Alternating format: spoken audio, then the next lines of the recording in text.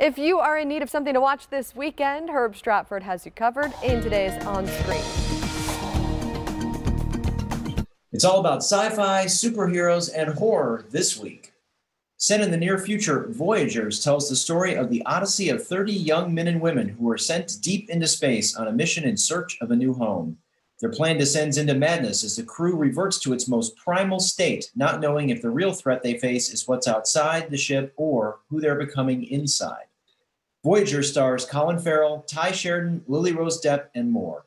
In a world beset by supervillains, one woman develops a process to give superpowers to regular people. But when she accidentally imbues her estranged best friend with incredible abilities, the two women must become the first superhero team.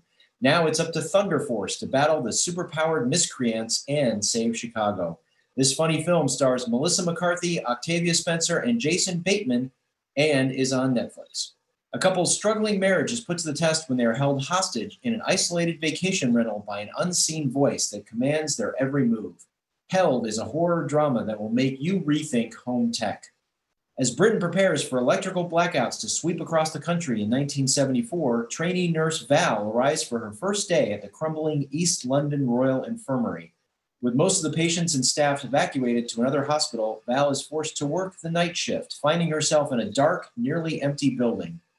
Within these walls lies a deadly secret, forcing Val to face her own traumatic past and deepest fears. The Power is now streaming on the Shudder Horror platform. I'm Herb Stratford, News 4 Tucson.